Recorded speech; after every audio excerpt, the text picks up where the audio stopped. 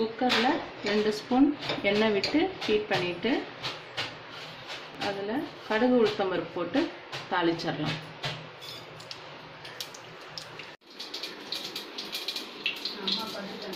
உளுத்தம் பொரிஞ்சோன்னா பொரிஞ்சோன்னே சின்ன வெங்காயம் ஒரு பத்து ஒரு காஞ்ச மிளகா ரெண்டு பச்சை மிளகா காரம் அவங்கவுங்களுக்கு ஏற்ற மாதிரி. தாளிச்சு விட்டதில் இதை போட்டு நல்லா வதக்கிக்கலாம். ரெண்டு கைப்பிடி கடலைப்பருப்பை ஒரு அரை மணி நாளையாக ஊற வச்சுருக்கேன். கழுவிட்டு ஊற வச்சுருக்கேன். இந்த தண்ணியை வடிச்சிட்டு இப்போ அது கூட அதை போட்டுக்கலாம். எல்லாம் நல்லா வதங்கிடுச்சு. இப்போ அந்த கடலைப்பருப்பை போட்டுக்கலாம். பெரிய புடலங்காய் குண்டாக இருக்கும்ல அந்த புடலங்காவை மேலே லைட்டாக சீவிட்டு அதுக்கப்புறம் கட் பண்ணி கழுவிட்டு கட் பண்ணி வச்சுருக்கேன். இப்போ அந்த கடலைப்பருப்போடு அதை போட்டுடலாம்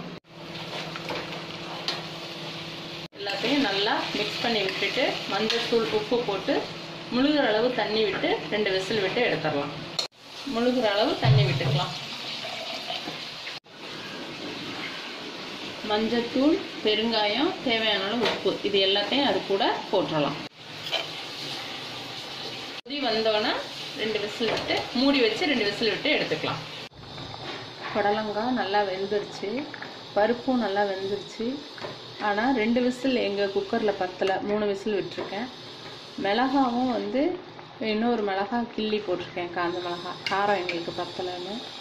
இப்போது இது கொஞ்சம் சுண்டுனோன்னே தேங்காவும் ஜீரகத்தையும் போட்டுறலாம் நல்லா சுண்டி வந்துருச்சு. இப்போ தேங்காவையும் ஜீரகத்தையும் அது கூட போட்டுடலாம் ஜீரகம் அரை ஸ்பூனு ஒரு கைப்பிடி தேங்காய். ரெண்டையும் அது கூட போட்டு ஒரு கொஞ்ச நாளைக்கு கொதி விட்டு அதை வந்து ஆஃப் பண்ணிடலாம். இதில் போட்டிருக்க ஜீரகம் வந்து அப்படியே கொஞ்சமாக கசக்கி போட்டால் டேஸ்ட்டாக இருக்கும். அதனால் கொஞ்சமாக கசக்கி போட்டிருக்கேன்.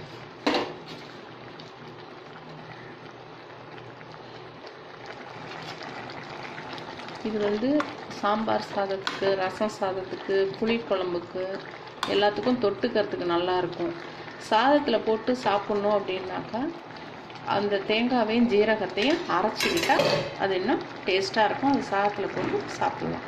இது ரெடி ஆனோன்னே பார்க்கலாம்.